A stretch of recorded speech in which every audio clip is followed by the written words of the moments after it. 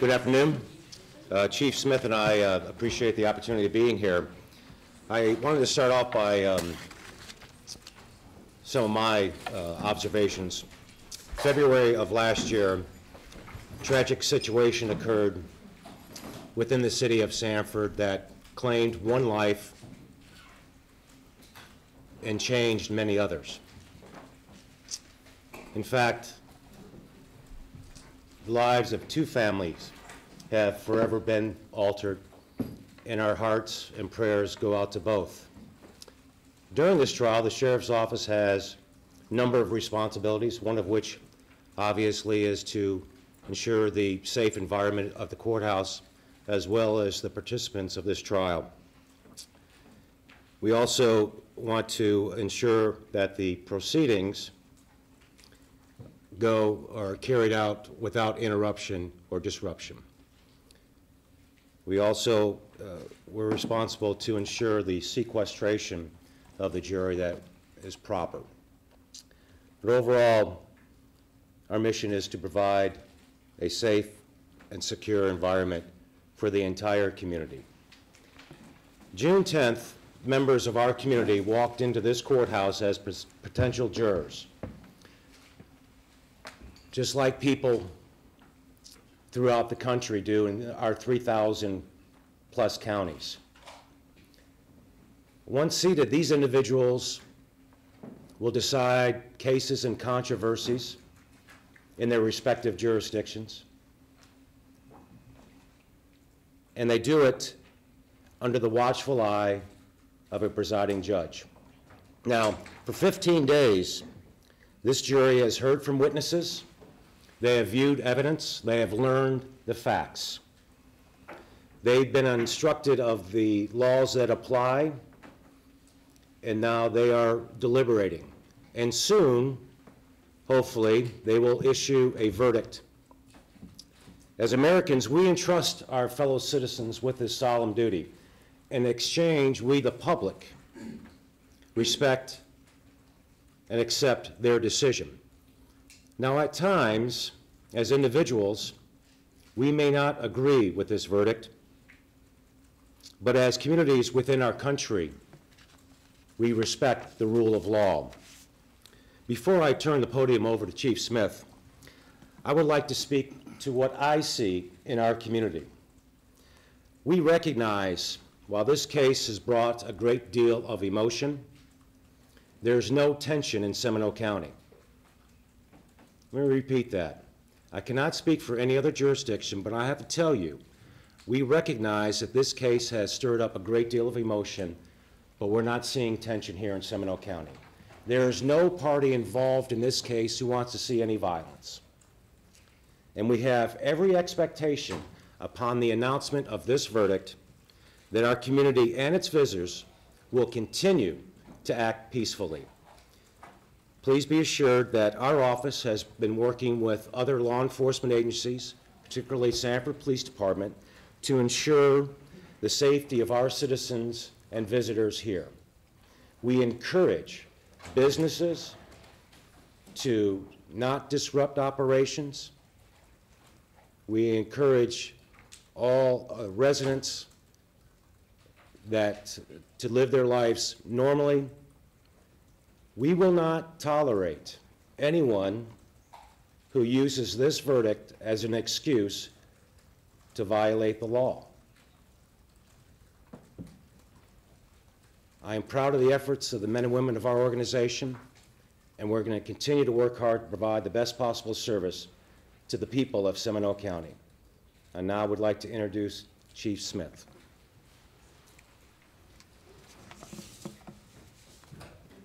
First, I want to thank you all for being here today and taking the time to be here. 17 months ago, a tragedy took place here in the city of Sanford, one in which has changed the mindset, the perception, what we see in our country today. It also took the opportunity to bring some things to light that may have taken place many, many, many years ago. 15 months ago, 3,000, 30,000 some odd people showed up here and during that same time, they requested that several things take place. They wanted an investigation. They asked for an arrest. They asked for charges to be made. They asked for a trial.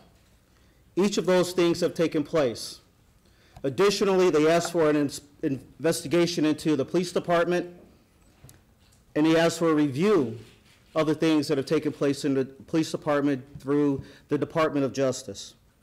Each of those things have taken place. But also during that time, a blue ribbon panel was developed to look at issues and concerns not only in the police department but throughout the city. Community meetings have been held to talk about issues and concerns that affect the people in Sanford and how we as a community can work together to resolve those. There's been training done with law enforcement through the Department of Justice within the police department to talk about issues based on bias-based policing and ethics. We've gone out into the community and talked, spoke to people about what their issues by knocking on their doors, introducing ourselves to say, let's see how we can improve the relationship between the police department and the community. We've also developed what's called Sanford's Pastors Connecting, where we've connected with the pastors throughout the entire city. And those pastors, regardless of their religion, their beliefs, set those aside so that they get a good feel for the things that are happening, communicating with each other, talking about the things that are going on within the community. Because in this case, they are the ones who have the opportunity to unite, to have that, that vision, to see the direction that the police department, working through the pastors, how our community can move forward. And as we await this verdict, we would like to remind everyone that the city of Sanford has been a peaceful location since that time, 17 months ago. And it remains a peaceful location. An example of that is when you come into this, this, the building here today, the number of people who are in the, in the area for free speech, we've learned some lessons through this past 15 months, many of which we're going to move forward with and seeing how we can band together to make Sanford a much better place. But part of that is communications and being able to talk to each other about the issues and how we can improve upon the things that need to be done in our community. But more needs to be done. I'm not going to sit here and tell you that everything is peachy keen in the city of Sanford. I'm not going to do that. But what I will tell you is this our community is working together to be a better community, to be an example for the other people throughout, throughout Florida, throughout the nation, to be the, the example, to talk about issues, to put things on the table, to see the direction that's, that we can do uh, better. We can do more. And as a community, it becomes our responsibility to work together to talk about what the issues and things that, that are out there. It's our community.